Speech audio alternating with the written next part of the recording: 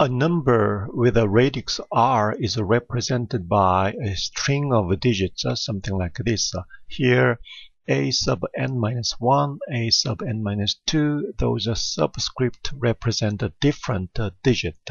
So radix r uh, number system has r different digits. So a0 through an minus 1, those are r different digits. And there is a, a, dot and then another string of digits. So before the dot, the left hand side is called integer portion. The right side of the dot radix point is called the fraction portion. And the value of this number is dependent upon radix and then it could be represented as a power series, uh, this one. So a0, the value of A0 is uh, whatever A0 the digit represent times uh, weight in that position. Weight in that position is uh, R to the zeroth power. And the A1 is whatever the A1 digit represent. Then the value of uh, this one is uh, multiplying its weight. Weight is uh, R to the first power. For example, in a decimal number system, suppose we have a 23.4 then the 3 here represent uh, the value 3 from digits uh, and then the position is a uh, first position to the left of the radix position which is a radix 10 and then its power is 0th power. And then 2 here is the value of 2 is 2 and then weight of that position is uh, 10 to the first power. So 20 is a value of uh, this place. Uh, and then 4 here represent uh, 4 times uh, radix 10. The position is uh, after the radix point, so negative 1 is exponent for that. So 2, 3.4 represent the value of uh, 2 times 10 to the 1 plus 3 times 10 to the 0 plus 4 times 10 to the negative 1. So that's uh, how our number with a radix system represent in, in general. Here is uh, the representation and here is a value for that. So in decimal number system, a radix is 10, so with 10 different digits, uh, 0 through 9. In binary number system, we have uh, two digits, 0 and 1. Those two are two digits in binary number system. Here is some special powers of 2 and 2 to the 10, 2 to the 20th, uh, 2 to the 30th, and 2 to the 40th. Uh, they are called as kilo, mega, giga, and tera. But as you know, in science, uh, we have a different value for kilo, mega, and giga. Uh, in, in science, uh, kilo means a 10 to the 3, which is uh, a 1000. But special power over 2, 2 to the 10 is 10,024. So mega in science is 10 to the 6th power, which is exactly 1 million. But here, special powers over 2, 2 to the 20th is a slightly over 1 million. So those are KMGT, scaling factor for size of a memory system in computer. So in, in computer memory, one megabyte does not mean one million bytes, but it means uh, 2 to the 20th bytes, which is more than 1 million. So only for uh, computer system memories uh, we use uh, those uh, scaling factors, but others uh, in science we use the kilomega differently. In binary number, we can do addition, subtraction, multiplication, and those are things similar to a decimal number system.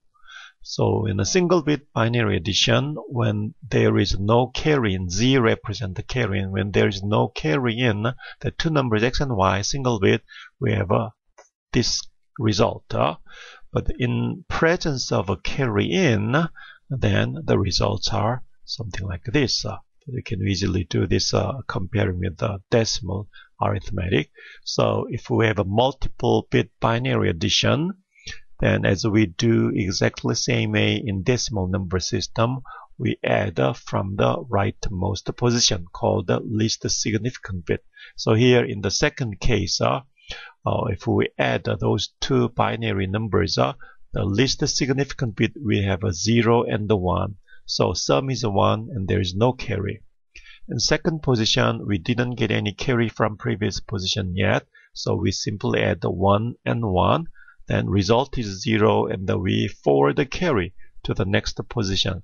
So in third position, we add 1 and 1 in addition to carry in 1. So 1 plus 1 plus 1, the result is 1 and we do carry over to the next position and so on. So we do multiple bit binary addition uh, in this way, which is uh, very similar to decimal number system. So subtraction is similar to binary as uh, decimal number as well. So when there is no borrow, then 0 minus 1, we have a 1 as a result, but we have a borrow. In presence of a borrow, this is the result. So if we do multiple bit binary subtraction, the second case uh, if uh, is uh, 0 minus 1. Since uh, 0 minus 1, we need a borrow, so we get borrow, and then result is 1. And so on, we just proceed uh, as if uh, very similar to decimal number system. Multiplication is quite uh, simple. We have only four cases uh, in the multiplication table. 0 times 0, 1 times 0, 0 times 1, and 1 times 1. Like a decimal number system, we multiply one by one to get the partial product uh, and then with the partial products column wise uh, we add them through to get the final product so remember how you do decimal numbers for multiplication just apply that uh, for binary numbers uh, very similar to that and these are values of power of 2 so when exponents varies from 0 to 21 those are equivalent de decimal values. Uh, I strongly encourage you to memorize uh, when uh, exponents is 0 through 10. So 2 to the 10 is 1024, 2 to the 6 is 64, and so on. So those are very frequently used in a digital system. So I strongly encourage you to memorize uh, uh, the values uh, of a special case of a power of 2 converting from binary to decimal uh, is based on the how number system is represented. Uh, for example, if we have a 11010 in binary number, then how do we get decimal equivalent value? Then what you need to do is uh, for each position in binary number system, what is the weight for that? Weight is determined by radix to the power of uh, the position. So the very first one on the left uh, is uh, uh, in uh, 0, 1, 2, 3, fourth position from the right. Uh, uh here is implied the radix point. Uh.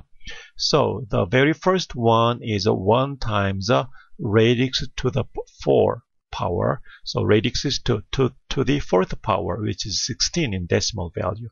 And the second one is 1 times 2 to the 3, which is 8. The third digit is 0, the fourth digit is 1, and the, that one is 1 times 2 to the 1.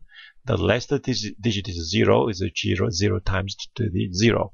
So if we add all those up, then 26. So 11010 in binary number is the same as 26 in decimal number.